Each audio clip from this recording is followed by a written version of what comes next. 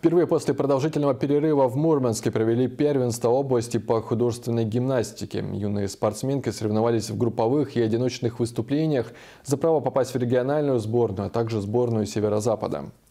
Художественная гимнастика, пожалуй, один из самых красивых видов спорта. Но несмотря на кажущуюся легкость, с которой спортсменки выступают на площадке, в это дело вкладывается очень много сил.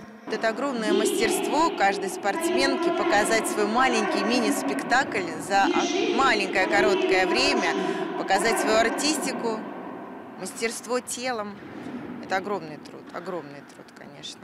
Ну и очень рада тому, что наша гимнастика художественная в Мурманской области развивается. В первенстве Мурманской области по художественной гимнастике приняли участие около 150 девушек в возрасте от 10 до 14 лет. Они показывали номера в индивидуальной программе и групповых выступлениях.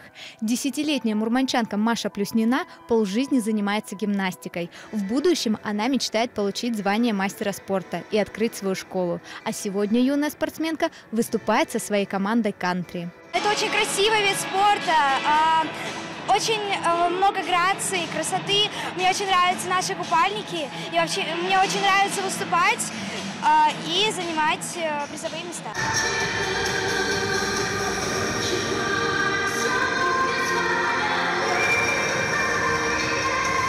Самое сложное – это справляться со своими эмоциями перед выступлениями то, что там надо правильно сконцентрироваться, чтобы не было много нервов, э, ну, чтобы ну, хорошо выступить.